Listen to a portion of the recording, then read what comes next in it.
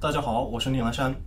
最近我看了参考消息上的一则新闻，这则新闻和我看到的其他情况可以说是有一种互相呼应和印证的感觉，并让我感觉加深了一些对美国制造业现在情况的认识。我先把这则新闻的图片贴在这里。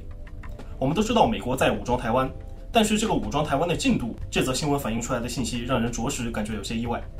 根据参考信息五月二日的报道，根据台湾地区立法机构二零一九年十一月通过的特别预算案。自二零二零年起，台湾地区分七年度编列超过两千四百七十二亿新台币，向美国采购六十六架 F 幺六 V 战斗机。尽管这个 F 幺六 V 比起中国大陆的歼二零还是落后了整整一代，但是也将极大的增强台湾空军的战斗力。根据台当局防务主管部门向台湾地区立法机构报告的交机规划，首架 F 幺六 V 战斗机将于二零二三年初交机，共分四年，至二零二六年底全数完成六十六架交机。也就是说，计划二零二三到二零二六年间完成全部的交付，但是现在已经是二零二三年五月，美方却告知台湾方面，首批新机出厂时间在二零二四年年底，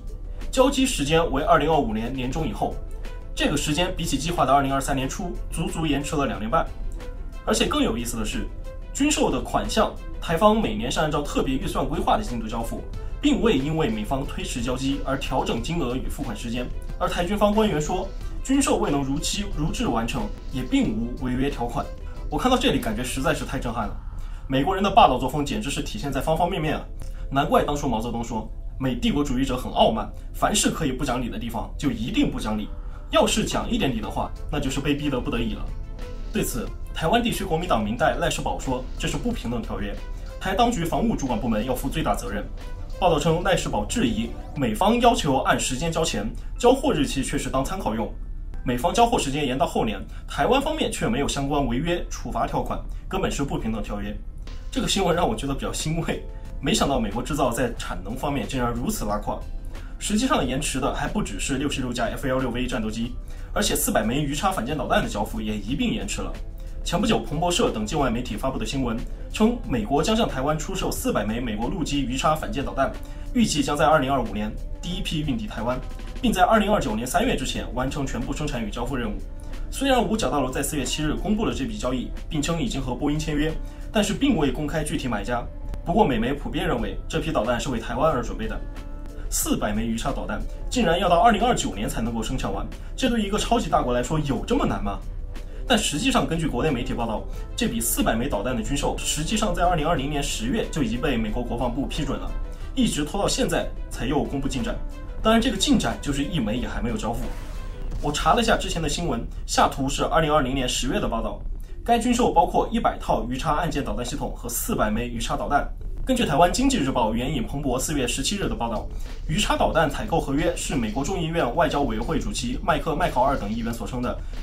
需要加速推动的对台一百九十亿美元积压军售订单的一部分。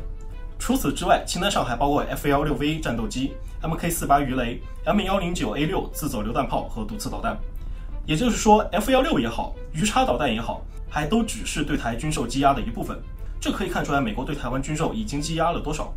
台湾那边的媒体认为，美国方面延迟交付跟新冠疫情有很大关系，全球供应链在新冠疫情期间受到了很大影响，导致生产不顺，使得美国方面积压了大量对台军售项目，无法准时交货。但是我觉得这其实并不是一个非常有利的理由。即使疫情影响了三年，也不至于 F 幺六 V 的手机交付也要推迟两年半吧？就算疫情导致了物流停顿，交付一架或者几架也这么难吗？我觉得美国的制造业出现了一些深层次的问题，以至于这样嘴边的肉都无法实现按时交付。台湾对于美国而言可不仅仅是赚钱的事情，而是美国遏制中国崛起的战略关键。在一个关键领域表现得如此拉胯，绝不仅仅是新冠疫情的影响。毕竟 F 幺六 V 首批交付都要等到二零二五年了，四百枚鱼叉导弹全部生产完，竟然要等到二零二九年，都到二零二九年了，这就很难说是因为新冠疫情影响了吧？就算是绣花，这么多年也都能绣完了。再举个例子，在二零二三年四月份，还有这样一个新闻，根据韩国东亚日报四月份的报道，韩国政府同美国达成统一意见，将会向美国提供五十万发一百五十五毫米炮弹。这些炮弹是以租借而非出售的形式交付给美国，而非常清楚，美国从韩国获取这些炮弹，主要就是为了支援乌克兰作战。而韩国为了避免直接援助，采取了先租借给美国的形式。实际上，美国政府去年就已经从韩国采购了十万枚一百五十五毫米炮弹。要知道，美国很早就放开新冠疫情管控了，而且今年已经是二零二三年了，居然国防产能还是提不上来。连一百五十五毫米炮弹这种产品，居然都要向韩国租借，以弥补自己产能的不足。在美国制造业本身就存在产能紧张、交付缓慢的情况下，乌克兰战场又大量的占据了美国军工产能，这无疑阻碍了对台湾的武器交付。这一点对我方是有利的。要知道，美国之所以能够获得二战的胜利，和当时其海量的工业生产能力高度相关。不仅能够供给美军的作战需要，还能够大量的援助物资到英军、苏军和中国的盟友，最终获得了战争的胜利。今天的美国在科技上依然是先进的，但是是否依然拥有快速扩张产能的能力，实在是让人心怀疑虑。就拿特斯拉在中国的工厂和美国工厂对比一下，特斯拉的上海工厂2019年1月才开工，2019年年底就投产了，2020年当年就占到了特斯拉全球产量的三分之一。二零二一年，上海工厂四十八点四一万辆的产量，占到了全球的百分之五十一点七。二零二二年更是占到了全球产量的百分之五十四点二。这就不仅仅是超过美国工厂了，而是超过了中国以外全球所有工厂的总和。这显然不是马斯克不想美国工厂产能迅速扩张，而是确实比不上上海工厂的能力。可以说，上海工厂的建设改变了特斯拉的命运。再说美国的新一代福特级航母，它是取代尼米兹级的美国最新一代航空母舰。首舰福特号是2005年开工的，到2017年才服役，耗时12年。而二号舰肯尼迪是2015年开工，原计划2022年交付美国海军，后来推迟到2024年，现在又延迟到2025年交付。如果说第一艘是有研发的时间成本需要承担，那么第二艘航母也耗时十年的时间，这就有点不可思议了。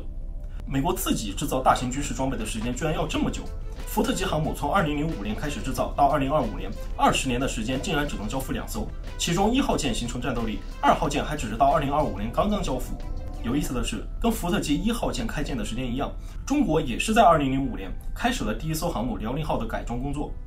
到2025年同样的时间内，预计会实现辽宁舰服役、山东舰服役、福建舰服役。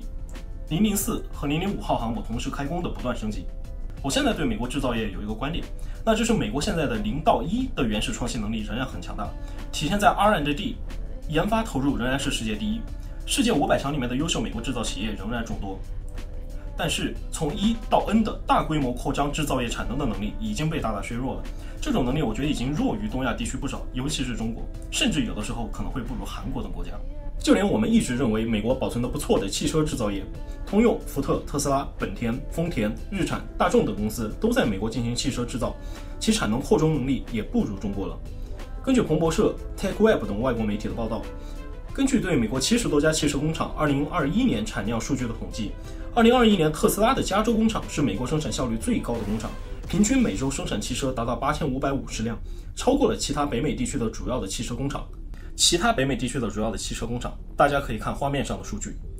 但是从特斯拉加州工厂的情况来看，尽管是2021年产量排名美国第一的汽车工厂，但其扩产能力远远不如上海工厂。上海工厂的实际产量平均到每周为9284辆。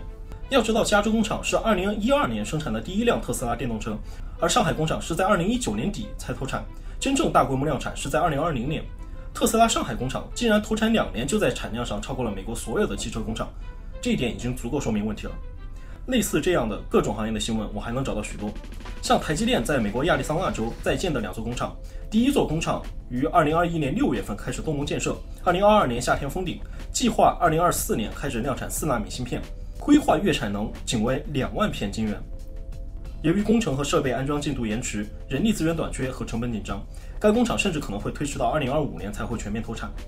不知道是不是因为美国的压力，台积电后来又在二零二二年十二月六日宣布在亚利桑那州建设第二座芯片厂。该工厂预计于二零二六年开始生产三纳米制程技术的芯片，月产能为三万片晶圆。即使到二零二六年，这两座工厂都按计划完成了，并且实现了满产，也只占台积电二零二二年产能的百分之四左右。而台积电的产量还在不断的增长，到二零二六年估计占比连百分之四都不会到。种种以上新闻让我感觉，今天的美国制造似乎更适合制造量级在中小规模的高科技产品，而缺乏大规模量产的能力。美国人，尤其是年轻一代的美国人，习惯了服务业、金融业的工作，已经不太想进流水线工作了，也不太想在工厂中当工程师搞枯燥的研发工作了，缺乏足够的工程师和工人。同时，这也意味着美国已经没有大规模的和完整的上游供应链了，这也是支撑一到 N 的大规模快速量产能力所必备的。如果这个判断正确的话，那么无疑对我国是有利的，意味着这在民用领域一旦科技上被我国突破，打破了美国的技术优势，则我方可以迅速的扩产和降低成本，压垮美国的同行。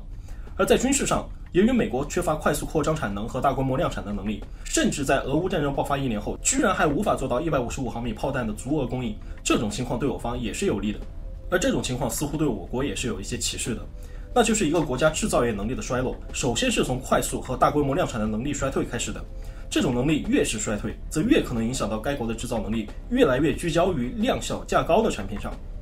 快速和规模量产的能力越是缺乏，则该国有制造竞争力的范围会越来越小。因此，我们不要看不起我们目前拥有的大规模和快速量产的能力，非常重要。也可以看出我国保持完整的供应链以及保持足够的理工科人才供给的重要性。以上就是今天的内容，让我们从中国制造业中重新认识我们的国家。